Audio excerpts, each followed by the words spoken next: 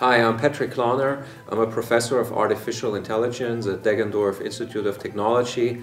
I teach a number of AI courses like computer vision, natural language processing, but I also teach a course on innovation management. Well, we deal with AI dozens of times a day. For example, look at your smartphone. You have plenty of AI applications in there be it speech recognition, be it search, be it spam filters, whatever. So we deal with AI dozens of times a day and plenty of new applications are appearing every day.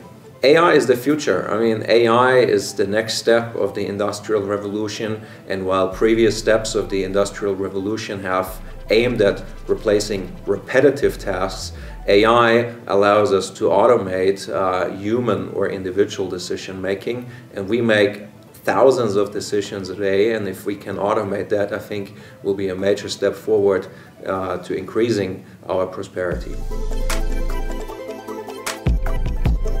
I often talk to people say elderly on the street and they feel that AI doesn't affect them at all. But when I tell them that even they are dealing with AI, even if they don't have a smartphone, but they go to their doctor and their doctor uses an AI application. So AI impacts them too and helps them to have a longer and healthier and happier life. And if we show people concrete applications, how AI is changing their life right now, I think that's how we get them excited.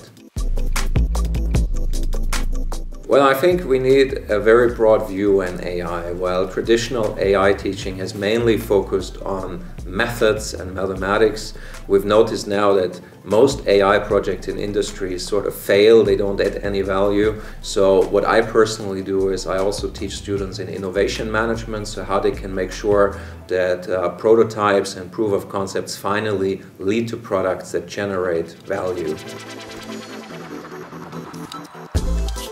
A breakthrough would be achieving the artificial general intelligence, so reaching a point in time that we call the singularity. So that's when an AI becomes as smart as humans in a large number of tasks.